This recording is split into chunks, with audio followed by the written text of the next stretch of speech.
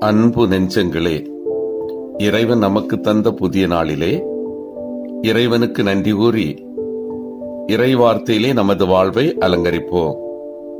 இறைவன் நம் அனைவரின் நிறைவாக ஆசீர்விப்பாராக இன்றைய நற்செய்தி வாச சிந்தனை. இயேசுவின் பரிவுள்ளம் பன்னிரு திருத்தூதரின் பணிகள்.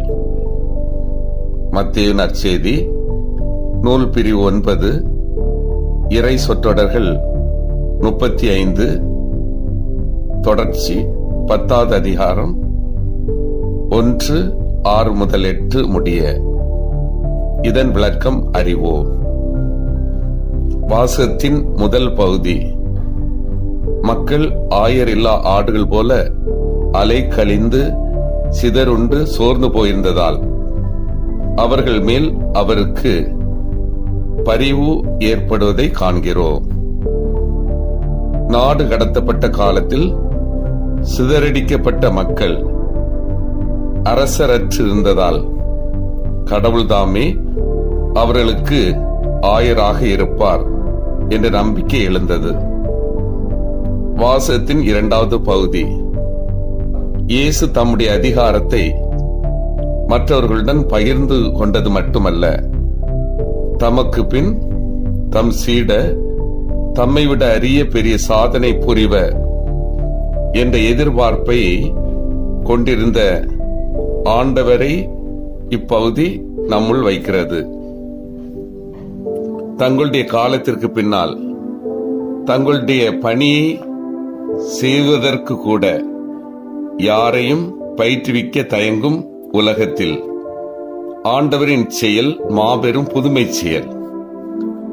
அன்பார்ந்தவர்களே நம் அன்றாட வாழ்வில் இயேசுவை போன்று பரிவிலும் பணிப்பகிர்விலும் சிறந்து விளங்க அழைக்கப்படுகிறோம். பரிவு நமது இதயத்திலிருந்து உருவாக வேண்டும்.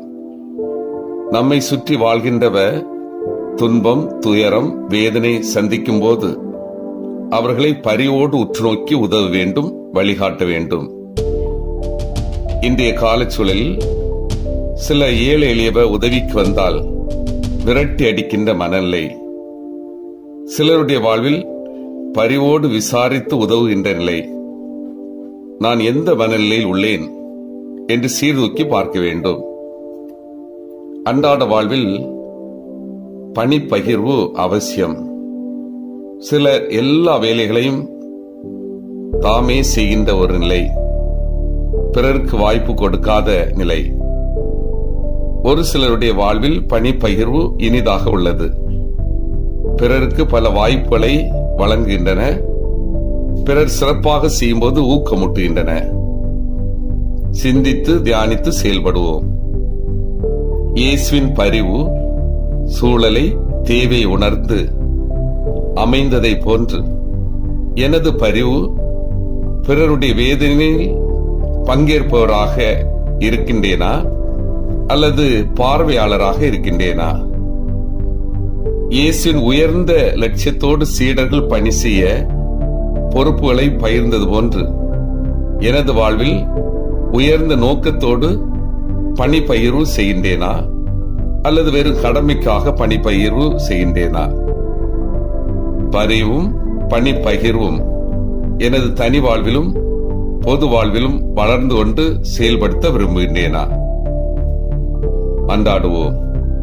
கருணை கடலாகிய இறைவா எங்கள் மத்தியில் அடிப்படை வசதி இல்லாமலும் பல்வேறு பிரச்சனைகளாலும் துன்பப்படுகின்ற மக்கள் மேல் நாங்கள் இயல்பாக பரிவு கொண்டு உதவும் உமது இரையாட்சி பணி குழுமமாக இணைந்து செயல்படுத்தவும் வரம் தாரும். ஆமேன்.